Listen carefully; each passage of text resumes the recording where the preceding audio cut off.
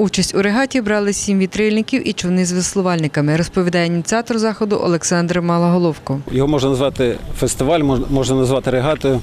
Склався спонтанно, тому що ми знаємо так е, один одного е, е, випадково. А от вирішили зібратись докупи, познайомитись і відродити вітрильний, вітрильний екологічний туризм. Регату присвячуємо Дню Незалежності на підтримку українських моряків, полонених в Московській Орді. Професійні спортсмени і любителі вітрильного спорту з Хмельницького вирішили так відзначити День Незалежності. Регата змішана. Одні йдуть на веслах, інші під вітрилами. Шестивесельний ял з рулевим Олександром Босенко найдавніший серед учасників. В 60-х роках тут було ялів е, десятка два, четвірок, шість. е, Ну, е, на чотири весла, на шість весел. Серце радіє, що нарешті вернулися якби ті часи.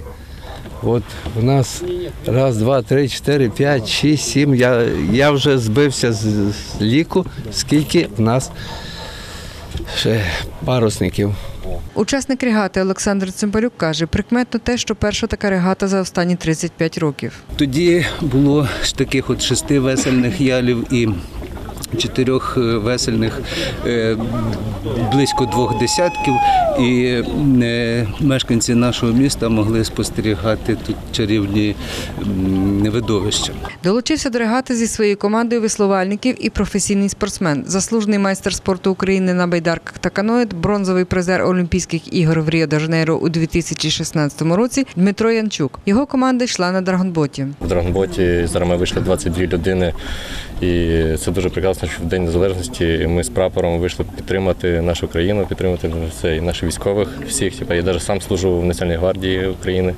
Так що треба підтримати, і щоб вони бачили, що якби, люди займаються, і ми показуємо, що за здоровий спосіб жит- життя. Тетяна Ворожцова, Володимир Зеленчуковський. Новини на Суспільному. Хмельницький.